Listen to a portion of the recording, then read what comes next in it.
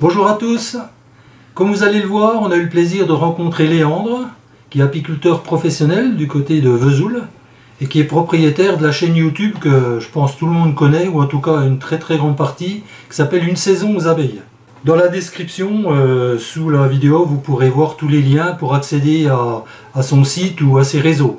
Alors bien sûr, on veut dire un grand merci à Léandre, hein. merci pour euh, cette initiative du Festival de l'abeille, même si euh, voilà, c'était pour essayer, c'était la première. C'est bien d'avoir organisé ça, merci pour le repas du midi, parce qu'en plus, Léandre a pris tout ça à sa charge, donc merci à lui. Merci de l'avoir organisé, merci pour le temps de, de questions-réponses. Et puis, bon, c'est ce qu'on avait dit, euh, pour améliorer, si jamais il refait ça, ça serait bien que ce soit refait. Euh, ça serait bien qu'il y ait des ateliers. Voilà, c'est une proposition qu'on a faite à Léandre, qu'il y ait des ateliers qui prennent un, sujet précis euh, où on va pouvoir discuter, hein, plusieurs ateliers. Après, ça c'est à mettre en place.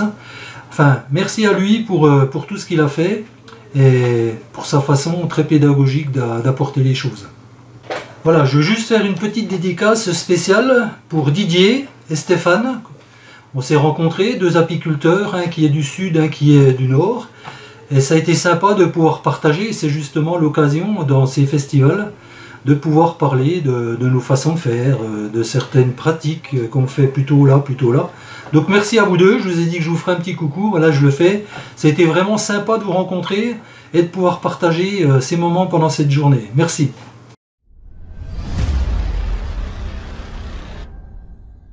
Voilà, on aura une surprise dans une prochaine vidéo aussi, je vous dis pas quoi aujourd'hui.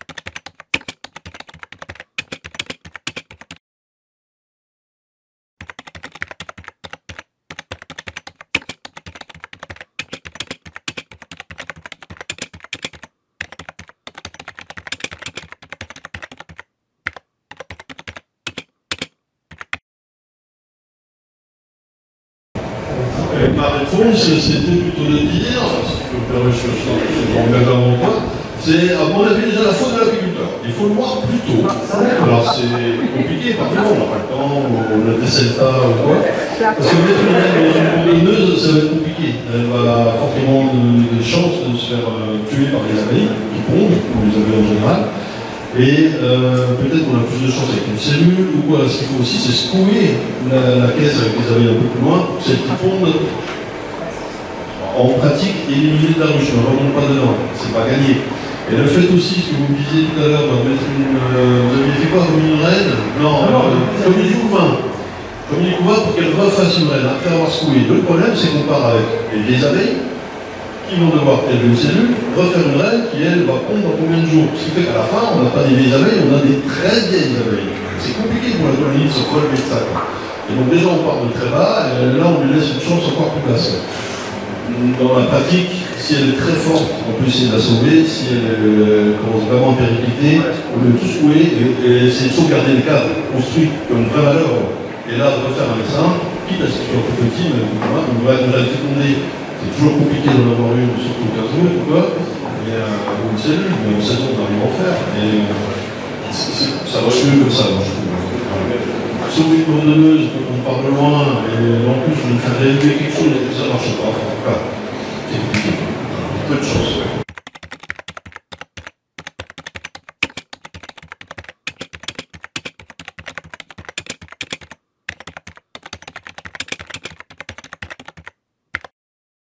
Alors j'ai ouais, essayé plein de choses en vidéo. Euh, ce qui me paraît.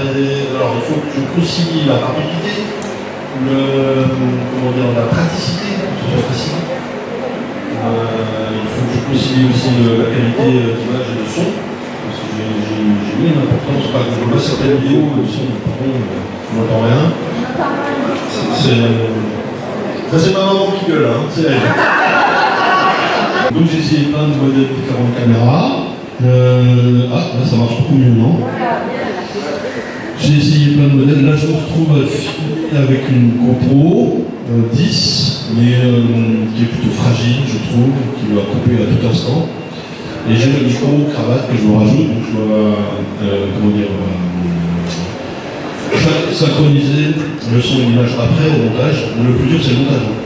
J'ai des heures, des heures, des heures. Voilà, je, ça va, plus je fais vite. Vous avez vu dans les dernières vidéos, il n'y a pas de musique, il n'y a pas de générique, comme ça, j'ai pas le temps. Et euh, je pouvais pas faire autrement. Et, euh, et, et ouais, ouais, ça passe tout aussi bien. J'aime encore bien en faire, mais ça prend donc aussi du temps de filmage, de drone et tout ça. Mais je sais pas, pour faire quelque chose de qualitatif euh, de demi-heure, je vais ramener 4 heures de, de vidéo, quoi. Et je- j'enlève tout le reste. Déjà aussi quand je parle, je enlever les E, les queues, les cheveux, les trucs ça. Bon, plus ça va, moi je je les enlève. Après, le petit micro va pas trop mal, mais c'est compliqué d'avoir deux appareils déjà. Je, je sais pas s'il y a une solution miracle. Euh, Et il y, a, il y a un filtre aussi, qu'on voit euh, sur une des vidéos, tu enlèves le filtre. c'est, euh, Ah oui, ça c'est un filtre ND. Euh, Neutral Density, c'est euh, des lunettes de soleil pour l'objectif. Quand il y a trop de lumière, il faut baisser la lumière.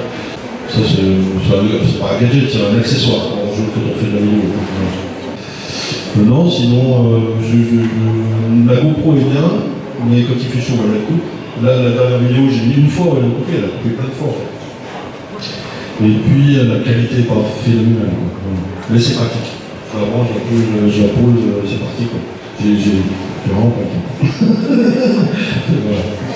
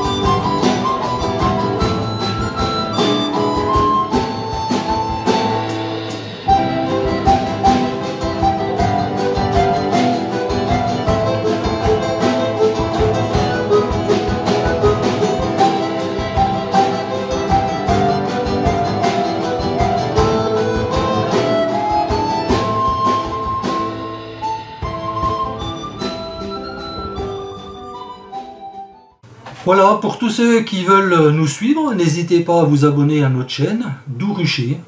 C'est gratuit et ça nous encourage, nous, à continuer et à alimenter euh, de nouveaux contenus, même si nous ne sommes que des amateurs.